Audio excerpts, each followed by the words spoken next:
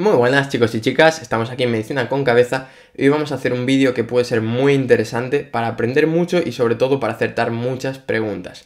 Vamos a hablar de las hemorragias del tercer trimestre del embarazo, cómo manejarlas, las principales nociones que tenemos que tener claras y sobre todo un algoritmo para no fallar ninguna pregunta. Así que vamos con ellas. La primera de que vamos a hablar es la placenta previa, que como te está diciendo el problema va a estar en la placenta.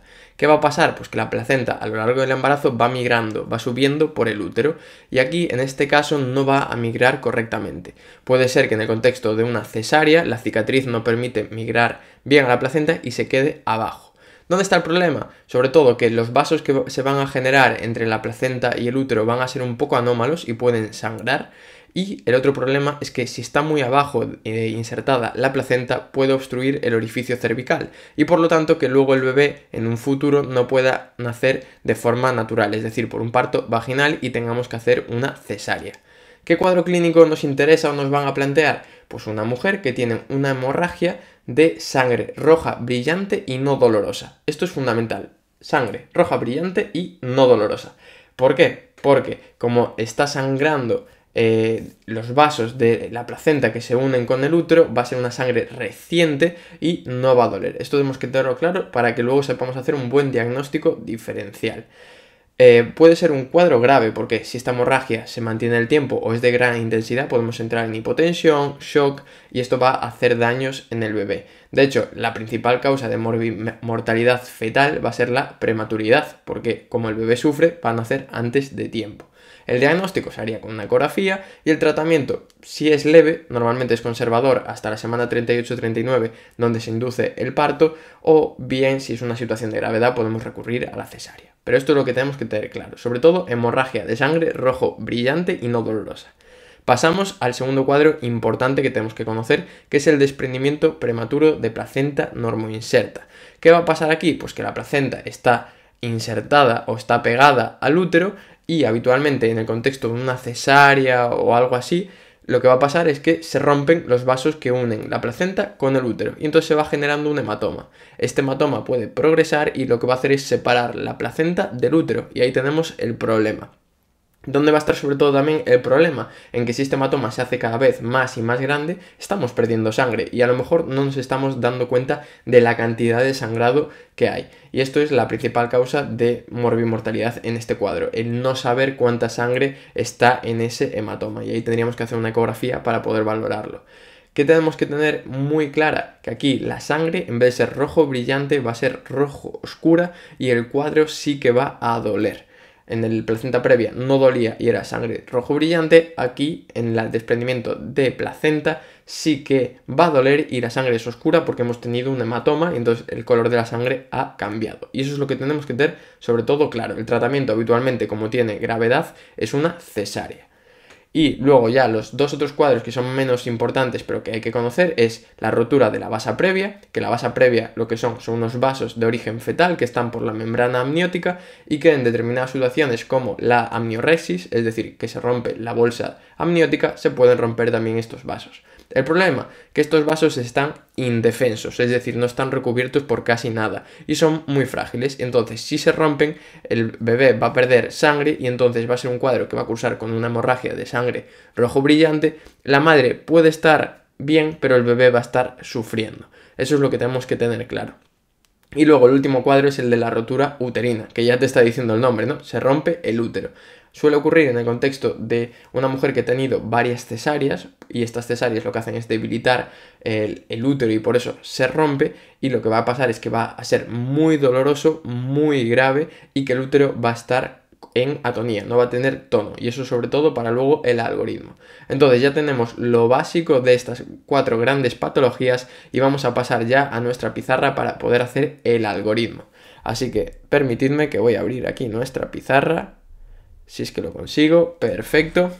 Y entonces tenemos que hacernos tres preguntas. La primera de ellas es, ¿duele? Tenemos que ponernos en contexto. Nos van a poner un caso clínico habitualmente en el que nos van a decir una mujer que tiene una hemorragia. Si ya oímos eh, sangre rojo brillante reciente, sospecharemos que puede ir hacia placenta previa, sangre eh, oscura, podremos sospechar a desprendimiento prematuro, como hemos dicho, pero el algoritmo va a ser este. Duele, La primera de las preguntas, ¿bien? Si la respuesta es sí, nos vamos a hacer una pregunta. Y si la respuesta es no, aunque bueno, realmente debería ser al revés los colores, porque que no duela es bueno, pero bueno, va a ser otra pregunta. Entonces, la pregunta que nos vamos a hacer en caso de que sea sí es, ¿cómo está el tono del útero? Y la pregunta que nos haremos en caso de que sea no, va a ser, ¿cómo está el feto? Estado fetal.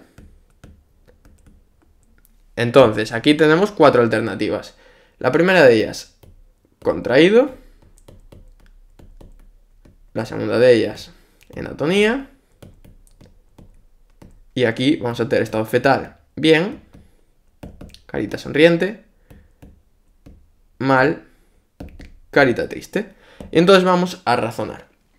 Dentro de que dolía, recuerda que dos patologías dolían desprendimiento prematuro de placenta, desprendimiento empieza por D, te puede servir, y la rotura uterina, porque si tú una micro rotura de fibras en la pierna ya te duele, imagínate que se te rompa el útero, pues imagínate, ¿no? Entonces aquí vamos a tener sobre todo el desprendimiento prematuro de placenta y la rotura uterina. Vamos a razonar. Si se ha roto el útero, habíamos dicho que estaba en atonía, porque se ha roto y entonces no es capaz de contraerse y por eso está en atonía. Entonces aquí vamos a decir que es una rotura uterina.